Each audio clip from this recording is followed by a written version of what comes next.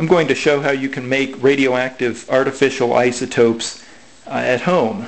Um, specifically, I'm going to make radioactive manganese 56 by neutron capture on natural manganese 55. The first thing we're going to do is prepare two uh, identical samples of uh, manganese dioxide or pyrolusite. That's this uh, black powder. It's real nasty material. It's nasty stuff. Gets on everything. So I'm not actually going to handle that right now. I have the uh, samples already made. This is the one we'll be irradiating. And this one marked with a B uh, will be a control. It has a similar amount of material in it, but uh, we're not going to irradiate it with neutrons. So I have here a uh, 5 millicurie americium beryllium source made with uh, many parts of uh, old-fashioned smoke detectors and uh, beryllium foil. This will be the source of neutrons that we use. And we need to slow these neutrons down so that they can interact with uh, the uh, manganese. So I'm going to put this source into a flux trap or a neutron oven, which is simply a large piece of uh, polyethylene that reflects and slows down these neutrons. Then if we take the uh, neutron detector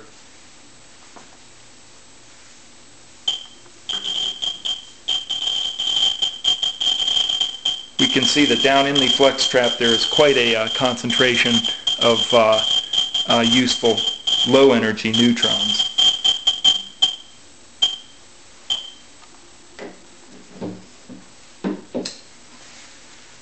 So I'll put the uh, item that we're going to irradiate, the manganese dioxide, into the neutron oven along with the source.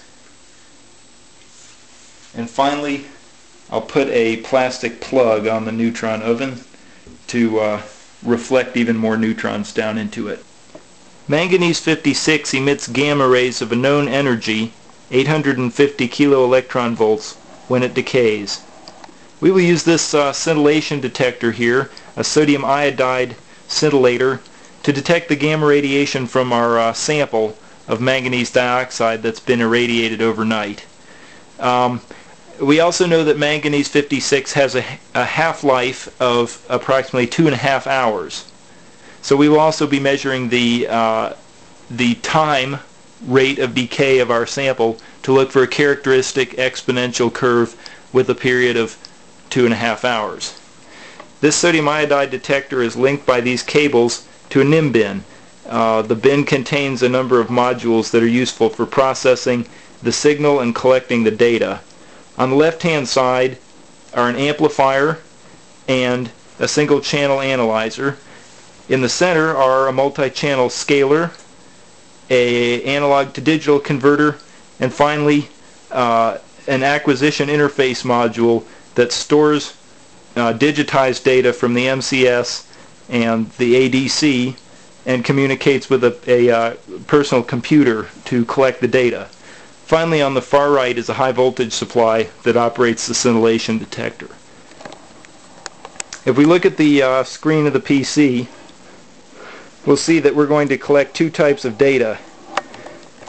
In the upper frame will be an energy spectrum and the lower frame will be a time spectrum. The energy spectrum is uh, going to be dominated by gamma ray peaks in the energy range of interest. Let's take a look at uh, at this spectrum.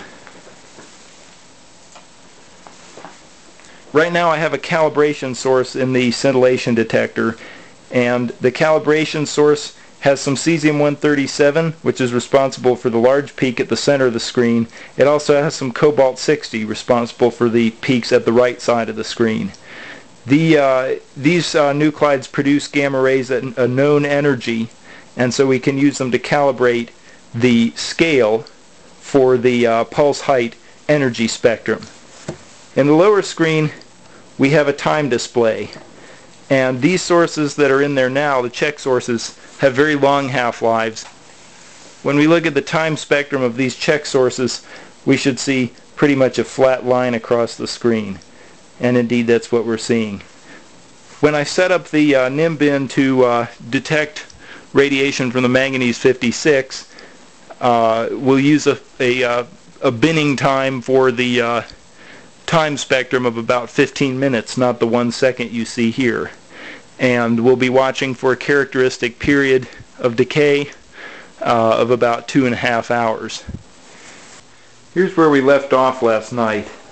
I'm going to pick up the uh, radiated manganese dioxide source out of the uh, neutron oven. There we go. You can see it's still the black stuff it looked like last night. And we're going to bring this now over into the uh, counting area.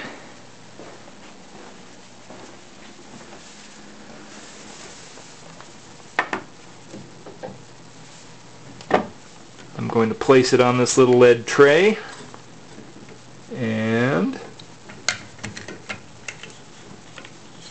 shove it in there. Replace the shielding and come on over to the computer where we'll begin the experiment. I'm going to come and start our acquisition. on both of these channels.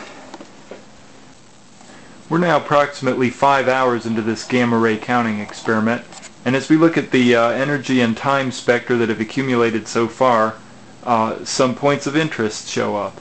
For instance this peak right here in the gamma energy spectrum at 850 keV uh, is exactly where we would expect a peak from the decay of manganese 56 and in the time spectrum down below we see uh, a steadily dropping number of counts in each 15 minute time band.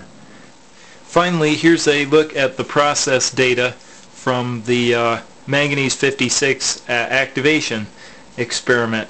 This right here is the energy spectrum uh, for the gamma rays that have been detected in our sodium iodide detector and uh, it consists of the counts that were uh, measured from the irradiated sample of manganese dioxide minus the number of counts that were received in the background sample or the unirradiated sample of manganese dioxide. This energy spectrum spans the uh, range of 0 all the way out to just over 2 MeV and in each uh, energy channel you can see a number of counts recorded uh, as well as an error bar that represents the uncertainty due to the uh, Poisson statistics of uh, the counting experiment. The main feature of this spectrum can be seen out at uh, 850 keV or so. It's this very large peak and uh, that is exactly the energy where we would uh, expect to find uh, decay radiation from manganese 56. So this is very definitive evidence that we have in fact produced uh, the manganese 56 isotope by neutron capture. Here's the time spectrum. Um, each point on this graph represents the number of counts uh, received uh, in a 15 minute increment of time and you can see that they extend out from uh, uh, 15 minutes all the way up to about 5 hours on this uh, spectrum. And again, this is net counts, uh, number of counts received from the irradiated sample minus the number received from the background sample. We can fit a curve to this, an exponential curve, and from that curve we can determine the half-life of the decaying material. And we find out the half-life is 2.6 hours. And again, this is exactly what we would expect uh, from the decay of manganese 56. So I guess what I've uh, illustrated here is that uh, producing uh, radioisotopes at home can be uh, a very uh, easy and, and Uh, rewarding uh, thing to do with uh, low intensity neutron sources and of homemade construction and some some nuclear detections detection instruments that really are not all that sophisticated as these things go. Um, thank you for watching.